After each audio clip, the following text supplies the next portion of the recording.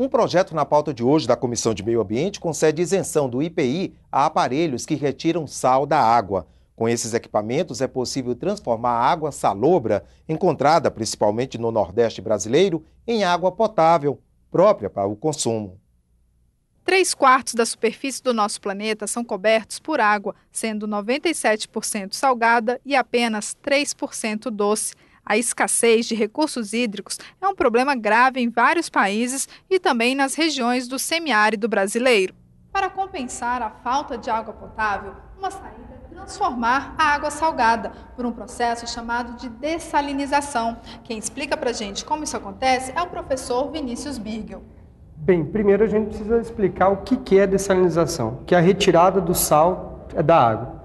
Isso é feito é no Nordeste pelo processo de osmose reversa. De acordo com o professor, um equipamento que faz esse processo é capaz de produzir o suficiente para abastecer 350 pessoas por dia. Por pressão,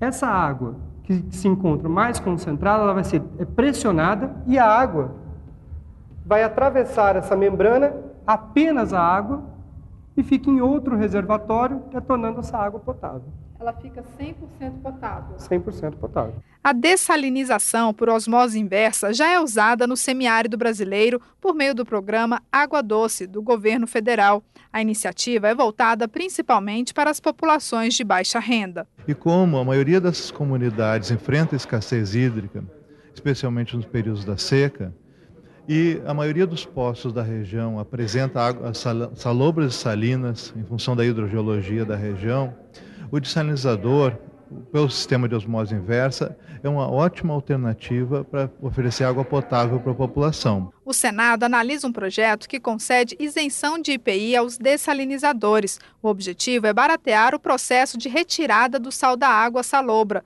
mas a proposta não agrada a alguns setores do governo.